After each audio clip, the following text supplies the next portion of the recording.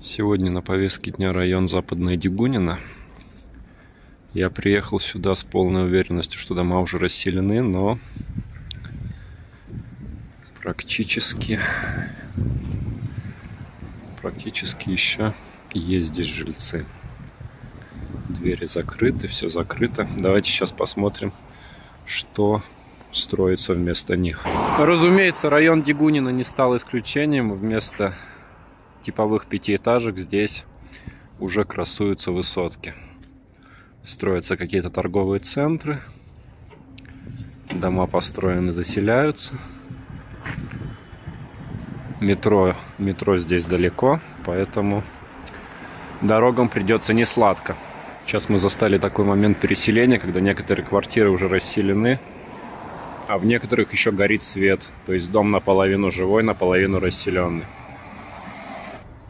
На всех подъездах висят предостережения, поэтому, скорее всего, выселенные квартиры закрыты. Что касается переселения, практически все жильцы переезжают в дом номер 17, поэтому уже создаются чаты общедомовые. Хоть перевозку обещали бесплатно, все равно еще развешивают объявления коммерсанты. Только один из подъездов здесь заварен и опечатан. Как только последний жилец съезжает, подъезд заваривают. Домофон из него выдирают и ставят под охрану. ЧОП такой-то. В один из подъездов мне удалось пройти.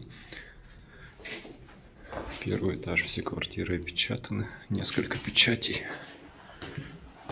Сейчас посмотрим далее. Далее по этажам примерно все то же самое.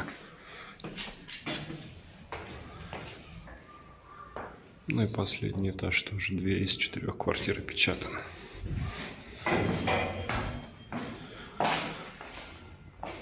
В другом подъезде мы видим, что некоторые вещи люди все-таки забирают.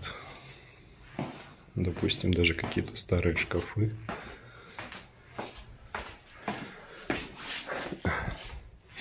И не совсем старые диваны.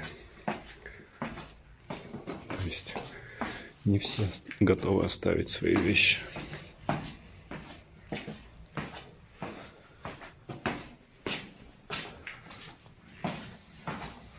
Сегодня мы с вами посмотрели, как проходит реновация немножко с другого ракурса. То есть не увидели никаких погромов, никаких вскрытых дверей, а увидели заваренные полупустые подъезды.